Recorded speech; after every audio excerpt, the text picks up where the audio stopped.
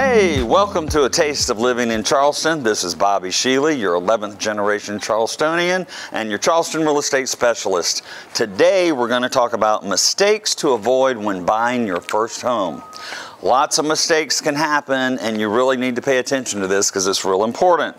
First thing, waiving an inspection. I don't care if your daddy is the inspector.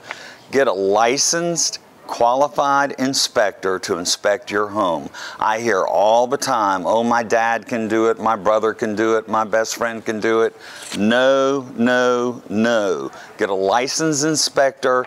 Anybody else does that inspection, anything they find is not going to carry any weight when you go to the seller and say, hey, there's a problem with this, that, the other always get an inspection and always get a qualified licensed inspector. Next thing, failing to get a pre-approval letter. How many people call me up and say, hey, will you show me some houses tomorrow? First thing I say is, do you have a pre-approval letter? They're like, no. The next thing I say is, no. I don't show anybody who doesn't have a pre-approval letter because you're not the lender. You don't know what it takes to qualify for a loan. Only your lender does. Your best friend doesn't. And for Lord's sake, do not go with an online lender. That's the biggest mistake you'll ever make in your life, I can promise you. But if you're trying to go look at a house without having a pre-approval letter, you're putting the cart before the horse. You've got to know what you qualify for and what your options are.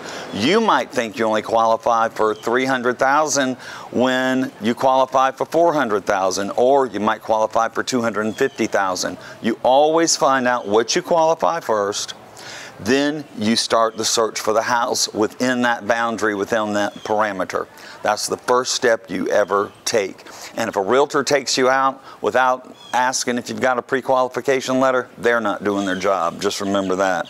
Spending more on a house than you can afford.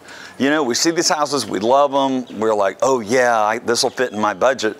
Well, what about vacations? What about savings? What about miscellaneous that comes up, things that you don't think about? Always think about when you're buying that house, you don't want to be house poor. You want to get the house you want, but you want to be able to enjoy life and go out to dinner and do fun things as well.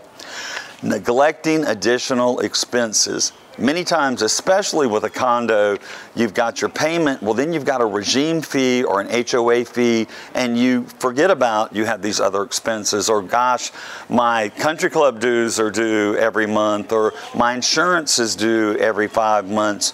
Think about other expenses you have and, and don't forget you've got those letting emotions influence your decision. I can't tell you how many times I've had to sit down, have a one on one with a client, and say, think about what your goal is and think about what you're doing. They find the perfect house everything is fabulous, but it's right next to a highway. And they think, oh, I can play music or put in new windows or put up a fence. Well, at 3 o'clock in the morning, that is not going to make the sound of that big truck going down the highway go away. I've had other couples found the perfect house, perfect location, perfect style, but it had nowhere to eat. There was a kitchen that had a small table and two chairs, and they said, This is our dream home. I said, Right, but where are you going to eat? And they kept thinking they could work around that. Then they realized they were letting their emotions take over, that it wasn't the house for them. So think about that. Do research on your agent. For instance, I've been in the business 21 years. When you're thinking about an agent, when you ask your friends and they say, oh, I've got a friend, I've got a relative, I've got whomever, Google that person first. See what their experience is, see what they're capable of, see what they've done, see what their history is. Don't go with a new agent who doesn't know what they're doing. Granted, they've got to get experience somewhere, but let them get it with somebody else. anyway, there's lots of things to do to make this process seamless for you. That's what you want it. You want a seamless, easy process when buying a home. So these are some tips that'll help you. I appreciate you joining me today. Of course, click on that subscribe button, A Taste of Living in Charleston. Don't forget to follow me on Instagram, A Taste of Living in Charleston. And most importantly, if you need a realtor, don't forget about me. Bobby Shealy, ERA Wilder Realty. Have a great day. Thanks for joining.